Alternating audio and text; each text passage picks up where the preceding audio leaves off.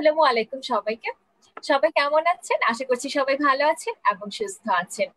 Access medical school কর্তৃক আয়োজিত forty five minutes review classes on community মেডিসিনের ধারাবাহিকতায় আজকে আমরা চলে এসেছি আবার চমৎকার আরেকটি সেশন নিয়ে। এবং আমাদের আজকের সেশনটি পরিচালনা করবেন আমাদের সকলের প্রিয় ফারজানা ইয়াসমিন আপু diabetic association medical college Faridpur session two thousand sixteen seventeen and honours in community medicine তো যেহেতু খুব শীঘ্রই আমাদের প্রফ সামনে হয়তো বা তো আমরা খুব ওরিড আছি যে আমাদের কীভাবে আমরা এত কম সময়ের মধ্যে এত বড় সিলেবাস শেষ করব। তো আর আমাদের চিন্তার কিছু নেই। আমাদের আপু আমাদের হচ্ছে খুব সুন্দর করে এই যে টপিকগুলো, বাকি যেগুলো রয়েছে, সেগুলো খুব ভালো মতো বুঝিয়ে দিবেন। এবং আপুর এই ক্লাসগুলো থেকে আসলে সারা বাংলাদেশের আমরা সবাই যে কত উপকৃত হচ্ছি, এটা আর বলা অপেক্ষা রাখে না। তো আজকে আমরা এরকম খুব গুরুত্বপূর্ণ একটি টপিক নিয়ে আজকে আপু আমাদের ক্লাস দিবেন, সেটি হচ্ছে ডেমোগ্রাফি আপু, আসসালামু আলাইকুম। ওয়ালাইকুম আসসালাম, ধন্যবাদ ইসরাত এত সুন্দরভাবে বলার জন্য। আসলে আমি চেষ্টা করছি এই সেশনগুলা ভালোভাবে নেওয়ার, জানি না কতটুকু তোমাদের হেল্প করতে পারছি, তবে মোটামুটি অনেক দূর আমরা আগেছি, তো আজকের সেশনটা আমরা ডেমোগ্রাফি নিয়ে শুরু করব। তো আমি কি শুরু করে দিতে পারি? জি আপু, আমরা শুরু করতে পারি। অডিয়েন্স আপনারা যারা আপুর সেশনটি দেখছেন, তারা আপু সেশনের শেষ পর্যন্ত থাকবেন এবং আপনাদের ফ্রেন্ডসদের মেনশন করে তাদের সবাইকে দেখার সুযোগ করে দিন। তাহলে আপু, আমরা তাহলে শুরু করে দিই আপু। আচ্ছা ঠিক আছে। তো ফার্স্টে হচ্ছে আমাদের আজকে টপিকটা ডেমোগ্রাফি ডেমোগ্রাফি টপিকটা আমাদের রিটেন ভাইবা অসপি সব জায়গাতেই ধরো ইম্পর্টেন্ট তো প্রথমে আমরা যেটা জানব ডেমোগ্রাফি জিনিসটা আসলে কি? তো ডেমোগ্রাফি ওয়ার্ডটা আসলে দুইটা গ্রিক ওয়ার্ড থেকে আসছে ডেমোস অ্যান্ড গ্রাফো ডেমোস মানে হচ্ছে আমাদের পিপল এবং গ্রাফো মানে হচ্ছে মেজারমেন্ট তো বুঝতেই পারছ ডেমোগ্রাফি অনেকটা হিউম্যান পপুলেশন বা পিপুল এসব নিয়ে মানে জিনিসটা। তো এটা মেইনলি হচ্ছে হিউম্যান পপুলেশন নিয়ে একটা সাইন্টিফিক স্টাডি যেটা তিনটা মেইন ফেনোমেনার উপরে ডিপেন্ড করে থাকে। একটা হচ্ছে changes in the population size এখন পপুলেশন সাইজটা চেঞ্জেস বলতে পপুলেশন সাইজটা বাড়তে পারে বা কমতে পারে। মানে হয় গ্রোথ হবে অথবা ডিক্লাইন হবে। আরেকটা হচ্ছে তোমার the composition of the population composition of population বলতে কি বোঝাচ্ছে? আমাদের পপুলেশনের ভিতরে যে এজ সেক্স তাদের ডিফারেন্ট টাইপের কালচার ইথনিক গ্রুপ আছে এগুলা। আর ফাইনালি আরেকটা কম্পোনেন্ট হচ্ছে distribution of population in space এটা দ্বারা বোঝাচ্ছে যে আমাদের পপুলেশনের বেশিরভাগ কি রুরাল এরিয়াতে নাকি আরবান এরিয়াতে বা সিটি এরিয়াতে নাকি ভিলেজ এরিয়াতে যেটাই বলো, কোন এরিয়াতে কীরকম আছে এইটা নিয়ে স্টাডি করা। তাহলে বুঝতে পারছ যে ডেমোগ্রাফি জিনিসটা হচ্ছে আমাদের হিউম্যান পপুলেশন নিয়ে একটা সাইন্টিফিক স্টাডি যেটা পপুলেশন সাইজ তার কম্পোজিশন ডিস্ট্রিবিউশন এই তিনটা বিষয়ের উপর মেইনলি গুরুত্ব দেয়। এই তিনটা বিষয় নিয়ে আমরা ডেমোগ্রাফিতে আলোচনা করে থাকি। তো এখন এই যে বললাম যেটা, যে আমাদের এগুলা নিয়ে আলোচনা করতে হলে বা তোমার এগুলা জানতে হলে আমাদের তো কিছু ইনফরমেশন দরকার। ডাটা দরকার। আমরা কি করে বুঝব যে পপুলেশন সাইজটা কি বাড়ছে নাকি কমছে? কোথায় কতগুলো পপুলেশন আছে? তার জন্য আমাদের যে ইনফরমেশন বা ডাটা দরকার, তার জন্য আমাদের বেশ কিছু সোর্স আছে, যেটা আমাদের পড়তে হবে যে সোর্সেস অফ ডেমোগ্রাফিক ডাটা আসলে কোনগুলো। তো কোন কোন সোর্স থেকে আমরা এগুলো পাই? মেইনলি হচ্ছে পপুলেশন সেন্সাস আমাদের যে আদমশুমারি হয় দশ বছর পর পর আমরা জানি, ওইটা হচ্ছে মেইন সোর্স ওইখান থেকে আমরা মোটামুটি সব টাইপের বেসিক ইনফরমেশনগুলো পাই।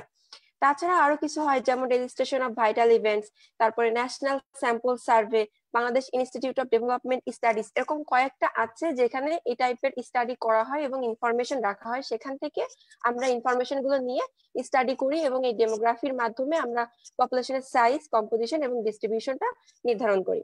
আচ্ছা তাহলে আমরা নেক্সটে যাই। নেক্সটে যেটা পড়তে হবে সেটা ডেমোগ্রাফিক প্রসেস ডেমোগ্রাফিক প্রসেস আসলে পাঁচটা মেনলি পাঁচটা জিনিস যে fertility mortality marriage migration and social mobility তো এই প্রসেসগুলো আসলে কি জিনিস? প্রসেসগুলো হচ্ছে আমাদের যে বললাম যে পপুলেশনের সাইজ তারপর কম্পোজিশন এন্ড ডিস্ট্রিবিউশনটা আমরা স্টাডি করতেছি। তো এইগুলা নির্ধারণ করে মানে এইগুলার কম বেশি করতেছে এই পাঁচটা জিনিস। এই পাঁচটা জিনিস ডিরেক্টলি এবং ইনডিরেক্টলি আমাদের সাইজ কম্পোজিশন এবং আমাদের ডিস্ট্রিবিউশনটাকে এফেক্ট করে। চলো দেখে কীভাবে করে। ফার্স্টে হচ্ছে আমাদের ফার্টিলিটি ফার্টিলিটিটা তো একদম ডিরেক্টলি আমাদের পপুলেশন সাইজটাকে এফেক্ট করতেছে। যদি ফার্টিলিটি বেশি হয়, আমাদের পপুলেশন বাড়বে, কম হলে কমে যাবে।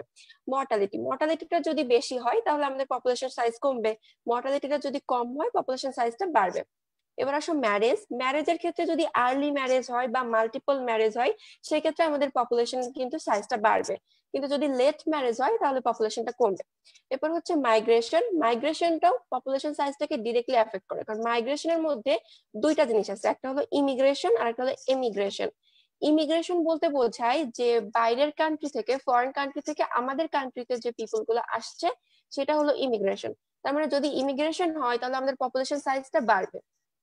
আর এমিগ্রেশনটা কি? এমিগ্রেশনটা হচ্ছে আমাদের কান্ট্রি থেকে যদি পিপল বাইরের কান্ট্রিতে ফরেন কান্ট্রিতে চলে যায়, সেটাকে আমরা বলতেছি এমিগ্রেশন তাহলে এমিগ্রেশন হলে আমাদের পপুলেশন সাইজটা কমে যাবে। আর ফাইনাল যে প্রসেসটা সেটা হলো সোশ্যাল মোবিলিটি এটা হচ্ছে একটা মাত্র যেটা কিনা ইনডিরেক্টলি এফেক্ট করে পপুলেশন সাইজকে এটা ডিরেক্টলি এফেক্ট করে না। কারণ সোশ্যাল মোবিলিটি জিনিসটা হচ্ছে আমাদের সোশ্যাল স্ট্যাটাসের একটা চেঞ্জ যে কারও সোশ্যাল স্ট্যাটাসটা খারাপ ছিল, সেখান থেকে ভালো হলো। বা ভালো ছিল, খারাপ হলো, যে কোনোটাই হতে পারে। তো এক্ষেত্রে হচ্ছে সোশ্যাল স্ট্যাটাস যাদের হায়ার তারা কিন্তু সাধারণত মানে কম চিলড্রেন নাই মানে বাচ্চা কাচ্চা একটু কম হয় বা একটু মেনটেন করে চলে, সেই ক্ষেত্রে পপুলেশন সাইজটা ধরো একটু কমবে। তো এটা হচ্ছে ইনডিরেক্টলি আমাদের পপুলেশন সাইজটাকে এফেক্ট করতেছে। তো এটা হচ্ছে আমাদের রিটেনের জন্য ভাইবার জন্য দুই জায়গায় ইম্পর্টেন্ট ডেমোগ্রাফিক প্রসেসটা এটা ইজি বিষয় জাস্ট আমরা এই পাঁচটা জিনিসের নাম জানব এবং কোনটাতে বাড়ছে, কমছে, সেটুকু জানব। নেক্সট আসি ডেমোগ্রাফিক সাইকেল ডেমোগ্রাফিক সাইকেলের আরেকটা নাম বলা হয় ডেমোগ্রাফিক ট্রানজিশন তো আমাদের যে ডেমোগ্রাফি চ্যাপ্টারটা এটার সব থেকে ইম্পর্টেন্ট কোশ্চেন হচ্ছে এটা, যে ডেমোগ্রাফিক সাইকেলটা তো এখানে আমাদের পাঁচটা সাইকেল মানে আমাদের যে প্রিভিয়াস হিস্টোরি আছে আমাদের পপুলেশনের ওয়ার্ল্ড এর পপুলেশনের সেটা অ্যানালাইসিস করে টোটাল জিনিসটাকে আসলে পাঁচটা সাইকেলে ভাগ করা হয়েছে। তো ফার্স্ট স্টেজ যেটা ফার্স্ট স্টেজে আরেকটা নাম হচ্ছে হাই স্টেশনারি ফেজ তো এখানে কি হাই স্টেশনারি দিয়ে মনে রাখতে হবে যে এখানে বার্থ রেটটাও হাই ডেথ রেটটাও হাই দুইটাই আমাদের হাই তো দুইটাই যখন হাই তখন হচ্ছে আমাদের একটা অন্যটা দিয়ে ক্যান্সেল হয়ে যাবে, যার জন্য আমাদের পপুলেশনটা স্টেশনারি হবে। যে বার্থ রেটও অনেক অনেক জন্মাচ্ছে, আবার মৃত্যুবর্ণ অনেক অনেক করতেছে। তাহলে আমাদের পপুলেশনটা কিন্তু স্টেশনারি থাকতেছে। এটাকে বলতেছি আমরা হাই স্টেশনারি ফেজ নেক্সট আসা হচ্ছে সেকেন্ড স্টেজ বা আর্লি এক্সপ্যান্ডিং ফেজ যেহেতু আর্লি এক্সপ্যান্ডিং ফেজ তো বুঝতে পারছ এখানে আমাদের পপুলেশনটা বাড়তেছে। তার মানে অবশ্যই ডেথ রেটের থেকে আমাদের বার্থ রেটটা বেশি হতে হবে। এখানে সেটাই হয়েছে যে বার্থ রেটটা যেরকম ছিল, ওই যে তোমার হাই স্টেশনারি ফেজ তো হাই ছিল দুইটাই। তো আর্লি এক্সপ্যান্ডিং এ এসে বার্থ রেটটা সেমই থাকল, কিন্তু ডেথ রেটটা কমতে শুরু করল। কারণ আমাদের আস্তে আস্তে ওয়ার্ল্ডের সব জায়গায় ডেভেলপমেন্ট হলো মেডিকেল সার্ভিসটার ডেভেলপমেন্ট হলো কমিউনিকেবল ডিজিজগুলো কমে গেল, যার কারণে মানুষের ডেথ রেটটা আস্তে আস্তে কমতে থাকল। কিন্তু বার্থ রেটটা কিন্তু সেই জায়গায় আছে। কিন্তু ডেথ রেট কমে যাওয়ার কারণে আমাদের কি হলো? এক্সপ্যান্ডিং হলো পপুলেশন এটাকে আমরা বলতেছি আর্লি এক্সপ্যান্ডিং ফেজ এটা হচ্ছে তোমার সাউথ এশিয়া এবং আফ্রিকার কিছু কান্ট্রি আছে যারা এই ফেজে আছে। থার্ড ফেজ বা লেট এক্সপ্যান্ডিং লেট এক্সপ্যান্ডিং এ হচ্ছে তোমার ডেথ রেট যেটা কমছিল, ওইটা আরও কমে গেল। আর বার্থ যেটা আমাদের আনচেঞ্জ ছিল বার্থ রেটটাও একটু কমে গেল। আলটিমেটলি দুটাই একটু চেঞ্জ হলো, কিন্তু ডেথ রেটটা যেহেতু বেশি কমে গেল, তাহলে আমাদের কি হলো? পপুলেশনটা কিন্তু আলটিমেটলি এক্সপ্যান্ডিং হচ্ছে। তো এটা হচ্ছে লেট এক্সপ্যান্ডিং ফেজ এই ফেজে হচ্ছে তোমার সব থেকে ইম্পর্টেন্ট যে বাংলাদেশ, আমাদের কান্ট্রি যেটা, এটা কিন্তু লেট এক্সপ্যান্ডিং ফেজে আছে। এছাড়াও ইন্ডিয়া চায়না সিঙ্গাপুর আর কয়েকটা কান্ট্রি লেট এক্সপ্যান্ডিং ফেজে আছে। এরপরে আমরা আসি ফোর্থ স্টেজ বা লো স্টেশনারি ফেজ লো স্টেশনারিটা আমরা মনে রাখব লো দিয়ে, যেখানে birth rate low death rate low দুইটাই লো এই কারণে আমাদের পপুলেশনটা স্টেশনারি থাকবে। আমাদের পপুলেশনটা বাড়বেও না, কমবেও না। তো এই পর্যায়ে মানে এই স্টেজে আছে হচ্ছে অস্ট্রেলিয়া ইউকে ডেনমার্ক এরকম কয়েকটা কান্ট্রি আর লাস্ট স্টেজ হচ্ছে আমাদের ফিফথ স্টেজ বা ডিক্লাইনিং ডিক্লাইনিং কথা দিয়ে বোঝা যাচ্ছে যে আমাদের পপুলেশন সংখ্যাটা কমে যাচ্ছে। কমে যাচ্ছে মানে অবশ্যই আমাদের ডেথ রেটটা বেশি হয়ে গেছে। বার্থ রেট থেকেও যতগুলো বাচ্চা জন্ম নিচ্ছে তার থেকে বেশি মানুষ মারা যাচ্ছে। তো যখন এই যে বার্থ রেটটা লোয়ার এবং ডেথ রেটটা তার থেকে বেশি হচ্ছে, এই অবস্থাকে আমরা বলতেছি ডিক্লাইনিং স্টেজ এটা হচ্ছে তোমার হাঙ্গেরি তারপর জার্মানি এরকম কয়েকটা কান্ট্রি যেখানে ডেথ রেটটা বার্থ রেটের থেকেও অনেক বেশি।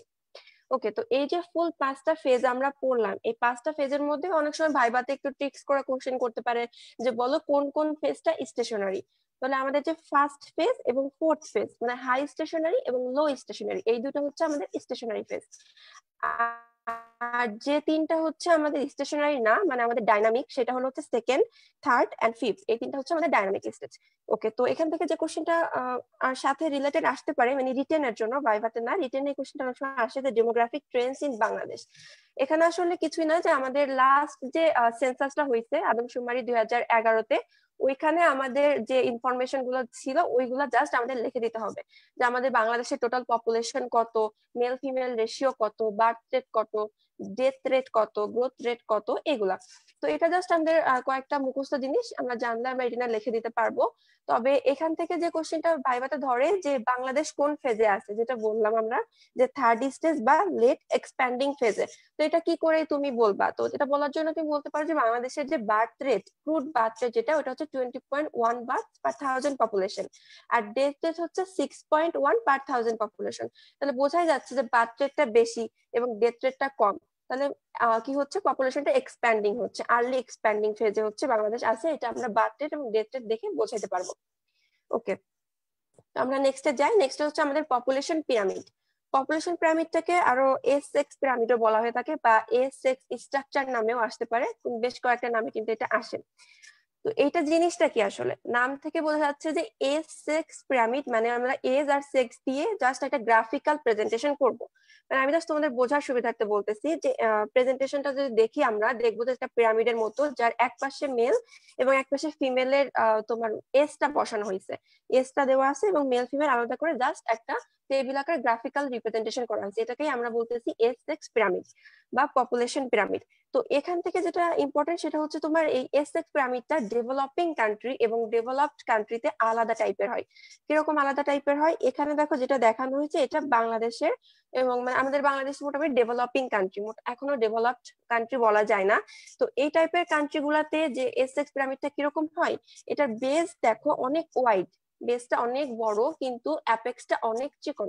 তো এই যে ওয়াইড বেস এবং ন্যারো অ্যাপেক্স এরকমটা হয় হচ্ছে তোমার ডেভেলপিং কান্ট্রির এস এক্স পিরামিডটা যেটা ইন্ডিকেট করে যে মোস্ট অফ দ্য পপুলেশন হচ্ছে তোমার চিলড্রেন এজ বা ইয়াং এজের মধ্যে আছে, এখনও মিডিল এজে যায় নাই মোস্ট অফ দ্য পপুলেশন এবং একই সাথে এটা ইন্ডিকেট করে যে মানে এখানে যে তোমার ন্যারো ন্যারো অ্যাপেক্স এবং ওয়াইড বেস এটা দিয়ে বোঝা যাচ্ছে যে র্যাপিড গ্রোথ অফ পপুলেশন হচ্ছে। যেহেতু বাচ্চার সংখ্যাটা বেশি চিলড্রেনদের সংখ্যা অনেক বেশি, তার মানে আমাদের দেশে অনেক বেশি র্যাপিড গ্রোথ অফ পপুলেশন হচ্ছে। একই সাথে আমরা যদি পরেরটা দেখি, এটাতে দেখো, এটার কিন্তু অ্যাপেক্সটা একটু ন্যারো বেসটাও একটু ন্যারো কিন্তু মাঝখানে বেশ ওয়াইড তো এটা হচ্ছে ডেভেলপড কান্ট্রির ক্ষেত্রে। ডেভেলপড কান্ট্রির ক্ষেত্রে ন্যারো অ্যাপেক্স ন্যারো বেস এবং মিডিলে ওয়াইড থাকে, কারণ মোস্ট অফ দ্য পপুলেশন থাকে হচ্ছে মিডিল এজের এদের সব, বেশিরভাগ মানুষই হচ্ছে যারা তোমার হচ্ছে ওয়ার্কিং বেসড আর কি কাজ করে এই টাইপের মিডিল এজড বা একটু এল্ডারলি এরা। এদের ক্ষেত্রে তোমার র্যাপিড গ্রোথ অফ পপুলেশনটা থাকবে না। তো এখান থেকে এই দুটা জাস্ট চিনতে হবে যে কোন টাইপের পিরামিড কোন টাইপের কান্ট্রির জন্য এবং এই দুটার আসলে ডিফারেন্সটা কি। তো যদি ডিফারেন্সটা আসে যে তোমার ডেভেলপিং কান্ট্রি অ্যান্ড ডেভেলপ কান্ট্রির দুইটা পিরামিডের মাঝে ডিফারেন্স করো, তাহলে বলা যাবে যে একটার বেসটা হোয়াইট আর অ্যাপেক্সটা ন্যারো আর ডেভেলপ কান্ট্রির হচ্ছে বেস এবং অ্যাপেক্স দুইটাই ন্যারো মাঝখানে হচ্ছে তোমার হোয়াইট একই সাথে ডেভেলপিং কান্ট্রিটা ইন্ডিকেট করে কি যে most of the population young এজে থাকবে আর develop country most the population middle এজে আবার আমরা বলতে পারি ডেভেলপিং কান্ট্রি ইন্ডিকেট করে যে র্যাপিড গ্রোথ অফ পপুলেশন হচ্ছে, কিন্তু ডেভেলপ কান্ট্রিতে র্যাপিড গ্রোথ অফ পপুলেশন হচ্ছে না। এরকম কয়েকটা ডিফারেন্স আমরা বলতে পারি। তো এস এক্স পিরামিডের ইম্পর্টেন্সটা কি? ইম্পর্টেন্স এটাই যে আমরা কন্ট্রাস্ট করতে পারি। আমরা ডেভেলপড এবং ডেভেলপিং কান্ট্রিদের মাঝে কম্পেয়ার করে দেখতে পারি যে কাদের গ্রোথ রেট বা বার্থ রেটটা প্ল্যান আকারে হচ্ছে আর কাদেরটা প্ল্যান অনুসারে হচ্ছে না। সেক্ষেত্রে আমরা বুঝতে পারি যে ডেভেলপিং কান্ট্রির তোমার inadequate and ineffective health service আছে। এই জন্য র্যাপিড গ্রোথ অফ পপুলেশন হচ্ছে বাট ডেভেলপ কান্ট্রির হেলথ সার্ভিসটা অনেক বেশি অ্যাডিকুয়েট এন্ড ইফেক্টিভ সেক্ষেত্রে তাদের কিন্তু ওরকম rapid growth of population population explosion এগুলো হচ্ছে না। তো এটাই হচ্ছে মেইন ইম্পর্টেন্ট যেটা আমরা এটার মাধ্যমে হেলথ স্ট্যাটাস থেকে শুরু করে এই যে তোমার পপুলেশনের হেলথ সার্ভিসটা ঠিক আছে কিনা কমিউনিটিতে এটা আমরা কম্পেয়ার করতে পারতেছি। ওকে নেক্সটে হচ্ছে আমরা যাব ভাইটাল স্ট্যাটিস্টিক্স ভাইটাল স্ট্যাটিস্টিক্স জিনিসটা কি? ভাইটাল স্ট্যাটিস্টিক্স হচ্ছে তোমার আমাদের সবার লাইফে কিছু ভাইটাল ইভেন্টস থাকে। ভাইটাল ইভেন্টস মানে কি? মানুষের লাইফে যে ইভেন্টসগুলো সাধারণত একবার হয়, সেগুলোকে আমরা ভাইটাল ইভেন্টস বলব।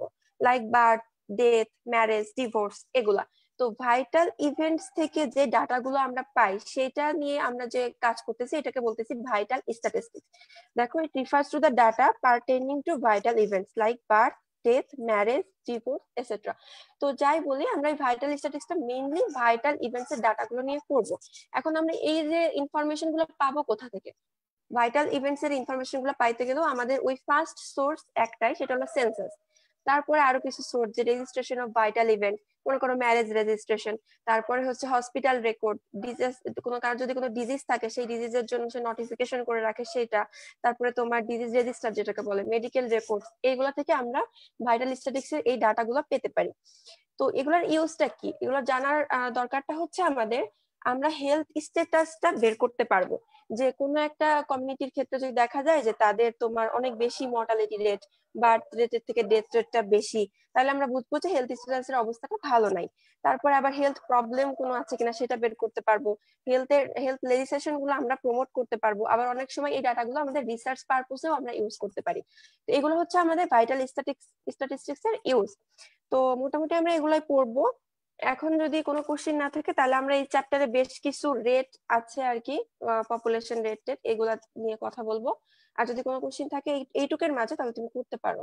আপু, অনেক ধন্যবাদ আপু। এতক্ষণ পর্যন্ত যা বুঝালেন আপু, অনেক ভালো মতো আমরা বুঝতে পেরেছি এবং যে কনফিউশনগুলো ছিল সেগুলো আল্লাহর মধ্যে ক্লিয়ার হয়ে গিয়েছে। তো আপু, এখন আপু একটা কোশ্চেন আছে আমার। সেটা হচ্ছে আপু, যে সেন্সাস নিয়ে আমাদের দেখেছি প্রফি বিভিন্ন সময় বিভিন্ন কোশ্চেন চলে এসেছে। তো সেন্সাস সম্পর্কে যদি আমাদের একটু যদি হ্যাঁ সেন্সাসটা ভাইবাতে ধরে অনেক সময় রিটেনে আসলে, আসতে পারে। তবে ইম্পর্টেন্ট মোটামুটি টপিকটা আচ্ছা একটু বলি। সেন্সাস জিনিসটা কি? আসলে বাংলাতে আমরা সবসময় নাম শুনি যে আদমশুমারি হচ্ছে, এটা সেটা। তো এটা হচ্ছে আমরা একটা ন্যাশনের ক্ষেত্রে তাদের ডেমোগ্রাফিক ইকোনমিক সোশ্যাল ডাটা সব টাইপের ডাটা মানে বেসিক যত ইনফরমেশন আছে, ওই ডাটাগুলো কালেক্ট করব, সেগুলো কম্পাইল করব। কম্পাইল করা মানে হচ্ছে, ধরো তোমার সাজাবো প্লাস পাবলিশ করব। এই যে তোমার যে প্রসেসের মাধ্যমে আমরা ডাটাগুলো কালেক্ট করলাম কম্পাইল করলাম পাবলিশ করলাম, একটা স্পেসিফিক টাইমের মধ্যে তাকে আমরা বলতেছি সেন্সাস তো এই সেন্সাসটা দুইটা সিস্টেমে করা যায়। একটা হলো তোমার ডি ফ্যাক্টো বলা হয় আর একটা হচ্ছে ডি জুরো ডি ফ্যাক্টো জিনিসটা কি? যে আমরা হচ্ছে একটা পার্সন সে যেখানে থাকবে, তাকে সেখানেই কাউন্ট করা হবে। লাইক আমরা তো সবাই সবসময় বাসায় থাকি না। এখন ধরো আমরা একটা লকডাউন টাইপের তাই বাসায় আছি। আমরা আমাদের বাসা ছেড়ে ধরো আমাদের কলেজে থাকি। তো আমাদের ওখানে এখন যদি সেন্সাস হয়, আমাদের কলেজে যদি আমাদেরকে কাউন্ট করে যে না, আমরা ওখানকার মানুষ, তাহলে কিন্তু এই যে সিস্টেমটা এটা হবে ডিফ্যাক্টো আর ডি জিরো সিস্টেমটা কি? যার বাসা যেখানে, যে আসলে যেখানে থাকে, আমরা আমাদের বাসায় আছি, এইটা যদি কাউন্ট করা হয়, তখন সেটা হবে ডি জিরো তার মানে হচ্ছে আমাদের যার যে অ্যাকচুয়াল রেসিডেন্ট যেটা, সেইখানে যদি কাউন্ট করা হয়, সেটা হচ্ছে ডি জিরো আর কেউ যদি অন্য জায়গায় থাকে, ওই দিন কাউন্ট করতেছে যেদিন, ওই দিন অন্য জায়গায় থাকি আমরা, সেই ক্ষেত্রে যেটা হবে এটা হলো ডিফ্যাক্টো এটা হলো দুইটা সিস্টেম আর মেথড হচ্ছে কীভাবে আমরা সেন্সাস করতে পারি? একটা মেথড হচ্ছে বাই ইনামারেশন ইনামারেশন মানে হচ্ছে যারা এই সেন্সাসটা করে থাকে মানে আমাদের গভর্নমেন্ট থেকে কিছু মানুষ তো ঠিক করা থাকবে, তারা প্রত্যেকটা বাড়ি গিয়ে গিয়ে এই টাইপের ইনফরমেশনগুলা নিয়ে আসবে। তাদের প্রত্যেকটা মানুষের বার্থের বার্থ ডেট কবে, তারপরে তার ম্যারেজ আছে কিনা, বাচ্চা কতগুলা, তার ইনকাম কত, এই সব কিছু সে একটা প্রত্যেকটা বাড়ি বাড়ি গিয়ে নিয়ে আসবে। এটা একটা মেথড আরেকটা মেথড হচ্ছে বাই কোশ্চিনিয়ার কোশ্চিনিয়ার মানে হচ্ছে আমরা প্রত্যেকটা ফ্যামিলিতে গিয়ে তাদের কাছে একটা করে কোশ্চিনিয়ার দিয়ে দিব। তাতে অনেকগুলো কোশ্চিন সেট করা থাকবে। তারা নিজেরা ওই কোশ্চিনটা ফিল আপ করবে কোশ্চিনের অ্যান্সারগুলো লিখবে এবং ফাইনালি আমরা ওই কোশ্চিনিয়ারটা নিয়ে আসব। এটা হলো কোশ্চিনিয়ার প্রসেস আরেকটা মেথড হচ্ছে এই দুটার কম্বিনেশনেও করা যেতে পারে। তো আমাদের কান্ট্রিতে হচ্ছে ইনামোরেশন প্রসেসটাকে হচ্ছে তোমার ফলো করে যে একজন ইনামোরেটর যে আর কি যায় তাকে ইনামোরেটর বলা হয়, সে প্রত্যেকটা বাসায় দিয়ে তাদের এরিয়াতে যে ওই ইনফরমেশনগুলো নিয়ে আসে। আচ্ছা তো এখন হচ্ছে যেহেতু আমাদের পদ্ধতিটা ফলো করে এবং সাথে আরেকটা কোশ্চেন করতে পারে যে বাংলাদেশে কোন সিস্টেমে করা হয় ডি ফ্যাক্টো নাকি ডি জিরো তো আমাদের যেটা করা হয় সেটা হচ্ছে তোমার ডি জিরোতে করা হয় মানে তোমার হচ্ছে যে বাসার মানুষকে বাসায় কাউন্ট করা হয়। তো এটার মেরিটস এন্ড ডিমেরিটস তাহলে আমরা একটু জানব যে ডি জিরো যদি যে সিস্টেমটা বলছে, এটা মোর রিলায়েবল অনেক বেশি নির্ভর থাকতে পারে। এটা একটা ডিমেরিটস তারপরে এটা একটা টাইম কনজিউমিং প্রসেস সবার বাড়ি বাড়ি গিয়ে এটা করা কিন্তু বেশ সময় সাপেক্ষ ব্যাপার। তারপর এটাতে তোমার কস্টলি টাকা পয়সার অনেক ব্যাপার আছে। তো এইগুলো হচ্ছে আমাদের ডি জিরো সিস্টেমটার ডিমেরিটস তো মোটামুটি এটুকু জানব। আর একটা বিষয় জেনে রাখা দরকার এখানে। ভাইবাতে হয়তো ধরতে পারে যে ফার্স্ট তোমার সেন্সাস হয়েছিল কবে বাংলাদেশে? আমরা জানি এটা নাইনটিন সেভেন্টি ফোরে সেন্সাস হয়েছিল ফার্স্টে তোমার হচ্ছে আমরা উনিশশো চুয়াত্তরে আর কি তারপরে দশ বছর পর পর হওয়ার কথা ছিল বাট উনিশশো একাশি সালে হয়। তারপর থেকে দশ বছর পর পর হয়ে আমাদের দুই হাজার এগারো সালে ফাইনালি হচ্ছে আর কি হয়। তো সেন্সাস থেকে যতটুকু বলছি এটুকু জানলেই হবে। তো তাহলে আমরা নেক্সট টপিকে যাই। আচ্ছা। তো নেক্সট হচ্ছে আমাদের যেটা যে পপুলেশন আর পপুলেশন ডেন্সিটির সাথে রিলেটেড কিছু রেট তো এখানে দেখো যে birth rate crude birth rate কয়েকটা আমি লিখছি। তো ফার্স্টে তোমাদের যেটা বলব যে অনেক সময় বার্থ রেট আর ক্রুড বার্থ রেট এই দুইটার মাঝে কনফিউশন হয়ে যায়।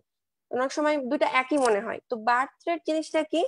একটা একটা ইয়ারে যতগুলা লাইভ বার্থ হবে, সেটাকে যদি আমরা মিড ইয়ারের এস্টিমেটেড পপুলেশন দিয়ে ভাগ করি, তারপর এক হাজার দিয়ে আমরা মাল্টিপ্লাই করি, সেই ক্ষেত্রে আমরা পাবো হচ্ছে বার্থ রেট কিন্তু ক্রুড বার্থ জিনিসটা কি? যে এখানে কিন্তু যতগুলা লাইভ বার্থ প্লাস যতগুলা হচ্ছে তোমার স্টিল বেবি বেবি হচ্ছে তোমার জন্ম নিচ্ছে স্টিল ডেড বেবি আর কি। মানে লাইভ বর্ন না হয়ে যারা মায়ের পেটে থেকে স্টিল বর্ন হিসেবে জন্ম নিচ্ছে, কিন্তু তারা কিন্তু অলরেডি জন্ম নিচ্ছে। সেই ক্ষেত্রে লাইভ বার্থ এবং স্টিল বার্থ দুইটাকেই কাউন্ট করে তাকে যদি আমরা মিডিয়ার এস্টিমেটেড পপুলেশন দিয়ে ভাগ করে থাউজেন্ড দিয়ে মাল্টিপ্লাই করি, সেই ক্ষেত্রে আমরা পাবো ক্রুড বার্থ রেট মানে বার্থ রেট আর ক্রুড বার্থ রেটের মধ্যে ডিফারেন্সটা এটাই যে বার্থ রেটে আমরা শুধুমাত্র লাইভ বার্থটা কাউন্ট করতেছি আর ক্রুড বার্থ রেটে আমরা লাইভ বার্থ এবং স্টিল বার্থ দুইটাকেই কাউন্ট করতেছি। আচ্ছা নেক্সট আসো crude death rate crude death রেটটা just number of death in a year একটা ইয়ারে কতগুলা মারা যাচ্ছে মানুষ, তারকে যদি আমরা মিডিয়ার এস্টিমেটেড পপুলেশন দিয়ে ভাগ করে থাউজেন্ড দিয়ে মাল্টিপ্লাই করি, তাহলে আমরা যেটা পাবো সেটা হলো ক্রুড ডেথ রেট এরপর হচ্ছে গ্রোথ রেট গ্রোথ রেট জিনিসটা কি? আমরা হচ্ছে ক্রুড বার্থ রেট যেটা আমরা পাইলাম আর ক্রুড ডেথ রেট যেটা পাইলাম, এই দুটাকে যদি আমরা ডিফারেন্স করি মানে crude birth rate minus crude death rate divided by ten যদি আমরা টেন দিয়ে তখন ডিভিশন দিই, সেই ক্ষেত্রে আমরা যে রেটটা পাবো, এটাকে আমরা বলব গ্রোথ রেট আর আরেকটা রেট এখান থেকে পড়তে হবে, সেটা হলো case fatality rate case fatality রেটটা হচ্ছে একটা ডিজিজের হচ্ছে তোমার কিলিং পাওয়ার বলা হয়, যে একটা ডিজিজ কতটুকু ক্ষমতা তার একটা মানুষকে কিল করার। সেটা হচ্ছে আমরা কীভাবে বের করব? যে total number of deaths due to particular disease ধরো মনে করো কার্ডিওভাস্কুলার ডিজিজ একটা বললাম আমরা যে হাইপার টেনশন বললাম বা তোমার হার্ট অ্যাটাকই বললাম, যে এটার কারণে টোটাল কতজন মানুষ মারা গেছে? ডিভাইডেড করলাম কি দিয়ে? যে ওই একই ডিজিজের কতগুলা কেস ছিল? মানে মনে করো এক হাজার জন মানুষ ছিল যারা হচ্ছে হার্ট অ্যাটাক তোমার কার্ডিওভাস্কুলার ডিজিজ ছিল। তাদের মাঝে তোমার হচ্ছে মনে করো পাঁচশো জন মারা গেল। তো যতজন মারা গেল আর যতগুলা কেস ছিল, এটাকে আমরা ভাগ করব। আর তারপর যদি আমরা থাউজেন্ড দিয়ে মাল্টিপ্লাই করি, তাহলে যে রেটটা পাবো, এটাকে আমরা বলতেছি কেস ফার্টালিটি রেট তো এই ক্ষেত্রে হচ্ছে কেস ফার্টালিটি রেটটাকে বলা হয় কিলিং পাওয়ার অফ ডিজিজ এটা তোমার সাধারণত ইনফেকশিয়াস ডিজিজের ক্ষেত্রে টিপিক্যালি ইউজ করা হয়। নন ইনফেকশিয়াস ডিজিজের ক্ষেত্রে কম। মানে আমি যেটা বললাম কার্ডিওভাস্কুলারিতে খুব একটা এই টাইপের জিনিস ইউজ করে না। মেইনলি ইনফেকশিয়াস ডিজিজ যেগুলা কলেরা মিজেলস ফুড পয়জনিং এই টাইপের ডিজিজের ক্ষেত্রে বেশি আর কি কেস ফার্টালিটি রেটটা ইউজ করা হয়। আচ্ছা নেক্সট হচ্ছে আমাদের পপুলেশন এক্সপ্লোশন আচ্ছা আরেকটা কথা এখানে একটু বলব যে আমরা যে রেটগুলো একটু আগে বললাম যে বার্থ রেট ক্রুড রেট বা ক্রুড ডেথ রেট এই রেটগুলা হচ্ছে তোমাদের পার্কের মধ্যে আছে, ভালো মতোই দেওয়া আছে। কিন্তু আমার কাছে মনে হয়েছে যে তোমরা চাইলে সেলিম রেজা স্যারের বই থেকে একটু দেখতে পারো। এই রেটগুলা ওই স্যারের বইতে একটু বেশি ভালো মতো দেওয়া আছে আর কি। দুটাই পড়বা, তারপরেও আর যদি তোমাদের কলেজের টিচাররা মানে যে যার যার নিজের কলেজের লেকচারাররা যেটা দিয়ে থাকেন আমাদের প্রফেসররা সেটা অবশ্যই সবার আগে প্রায়োরিটি দিয়ে দেখতে হবে। আচ্ছা নেক্সট আমরা যাই পপুলেশন এক্সপ্লোশন পপুলেশন এক্সপ্লোশন জিনিসটা কি?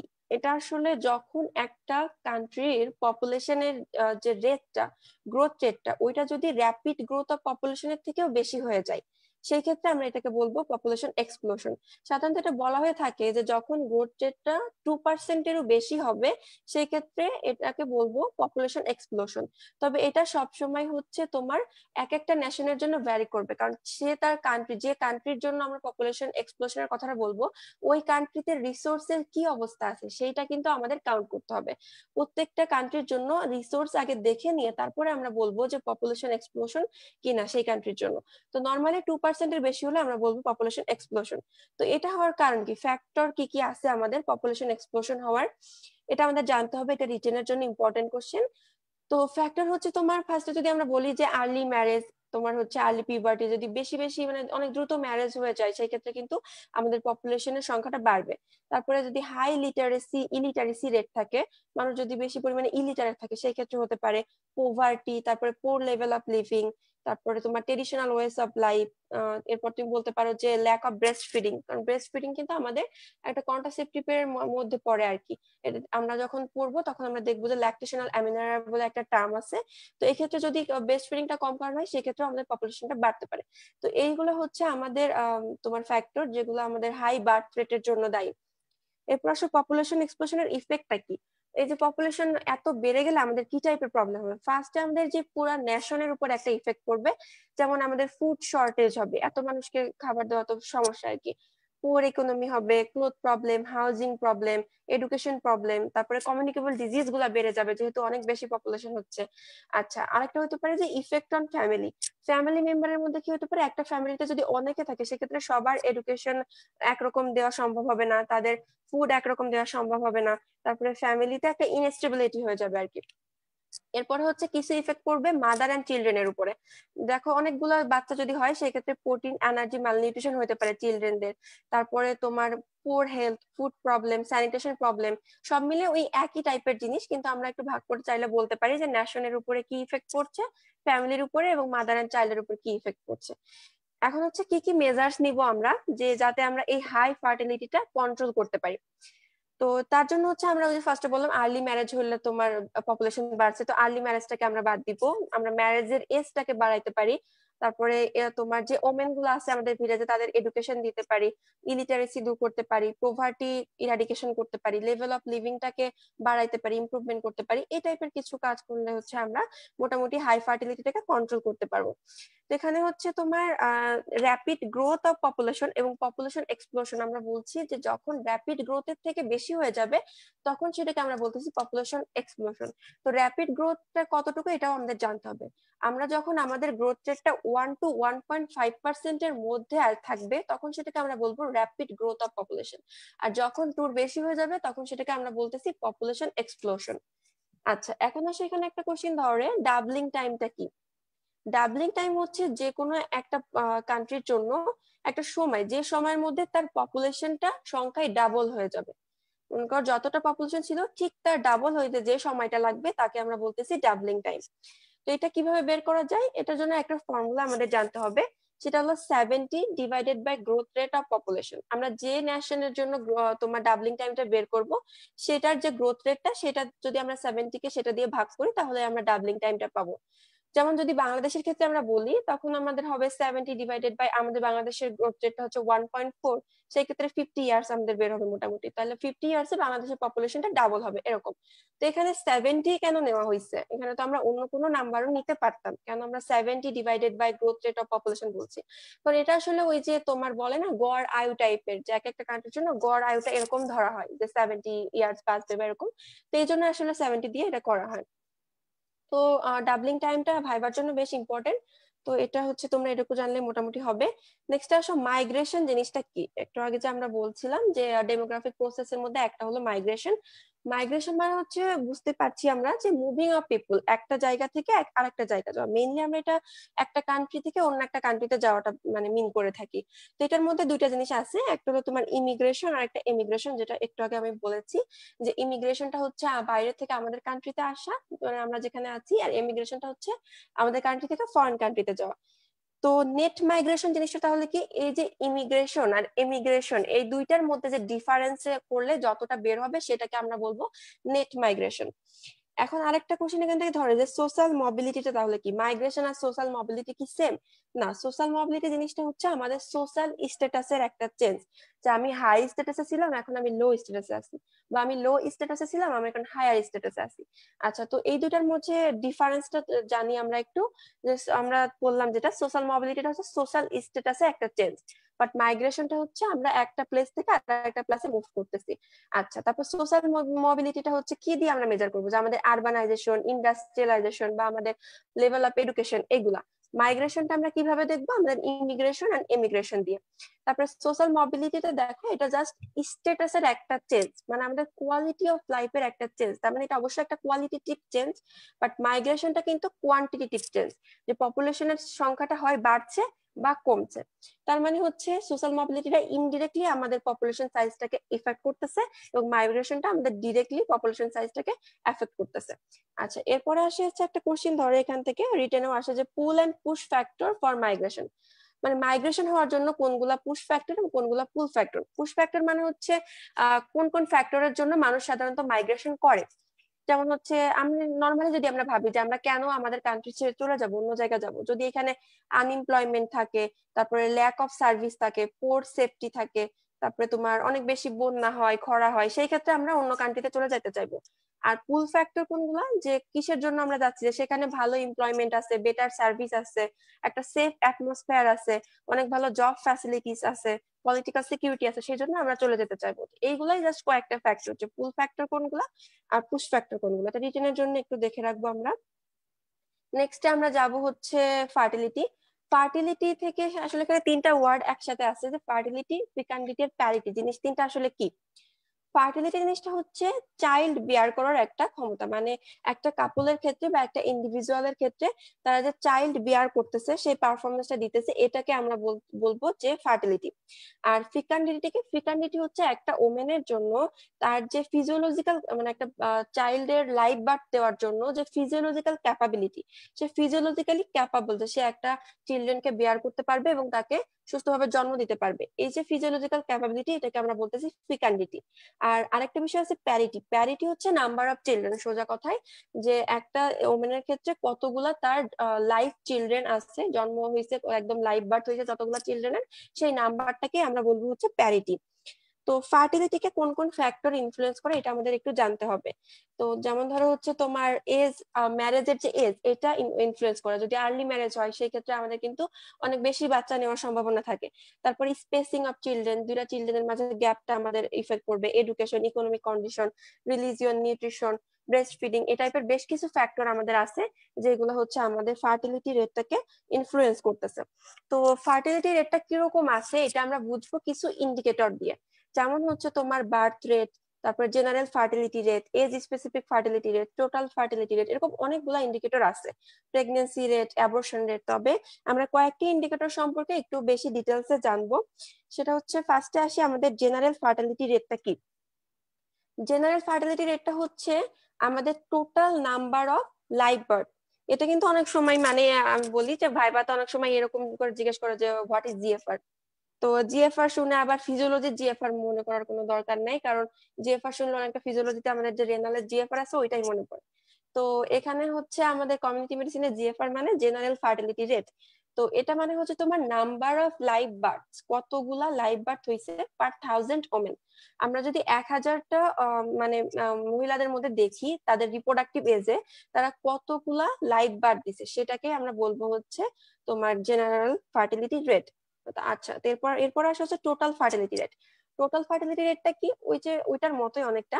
তবে ওইখানে আমরা বলছিলাম যে লাইভ বার্থ দিচ্ছে পার থাউজেন্ড ওমেন আর এখানে আমরা বলব যে number of children average number of children মানে সে তার টোটাল রিপ্রোডাক্টিভ এজে মনে করো যে একটা পার্সন একটা ওমেন এখন এমন ভাবে তার ফার্টিলিটি রেটটা যাচ্ছে যে সে দুই বছর পর পর একটা করে মানে লাইফ বার্থ চিলড্রেনের জন্ম দিচ্ছে।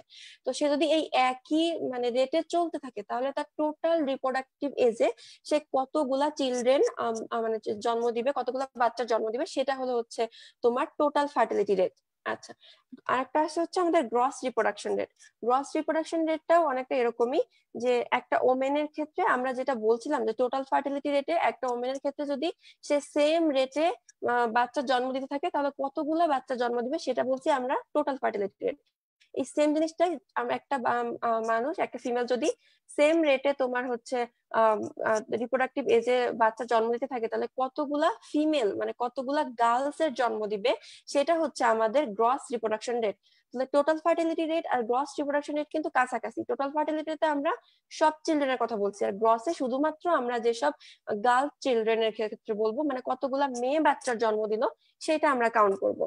আর একটা এখানে আছে হচ্ছে নেট রিপ্রোডাকশন রেট মানে এনআরআর এটা একটু ইম্পর্টেন্ট এটা হচ্ছে ওই সেম জিনিসটাই যে কতগুলা ডটারের জন্ম দিবে মানে কতগুলা মেয়ে বাচ্চা জন্ম দিবে একটা নিউবার্ন গার্লের ক্ষেত্রে। একটা মানে একটা গার্ল মানে মাত্র একটা মেয়ে বাচ্চা জন্ম নিল, সে বড় হবে, সে সারা জীবনে তার রিপ্রোডাক্টিভ এজে কতগুলা মেয়ে বাচ্চা জন্ম দিবে?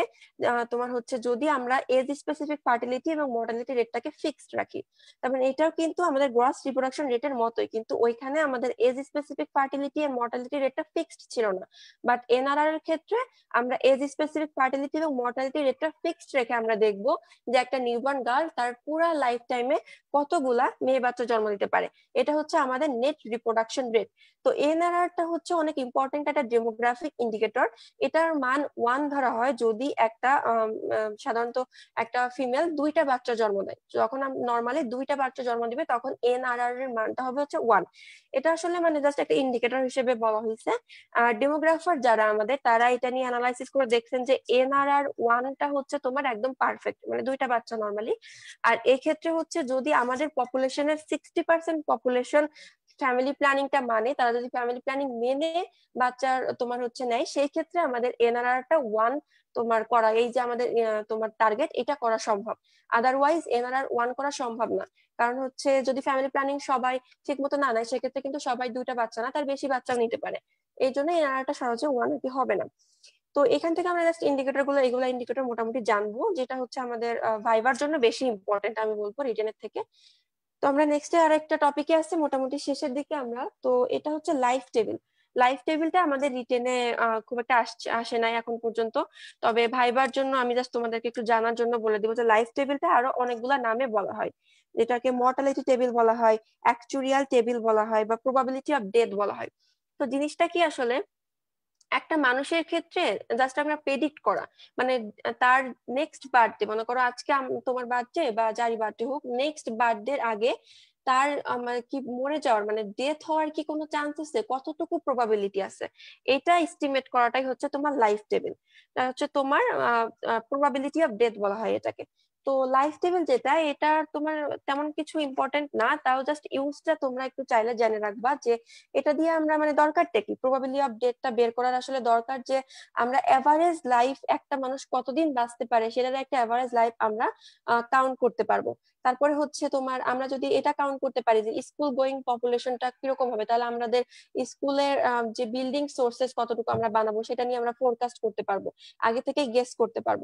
তারপরে দেখা গেল যে আমরা যদি এটা গেস করতে পারি যে আমরা, আমাদের পপুলেশন সবাই কতদিন বাঁচবে, এটা যদি আমরা গেস করতে পারি ডেথটাকে প্রবাবিলিটি যদি বের করতে পারি, তাহলে আমাদের পপুলেশন সাইজটা ভবিষ্যতে বড় হবে নাকি পপুলেশন সাইজটা আরও কমবে, এটাও আমরা মোটামুটি ফোরকাস্ট করতে পারব। তো এরকম কয়েকটা ইউজের জন্য লাইফ টেবিলটা বের করা হয় জাস্ট কিছুই না, এটা হচ্ছে তোমার ফোর্স অফ মর্টালিটিটাকে আমরা মেজার করব।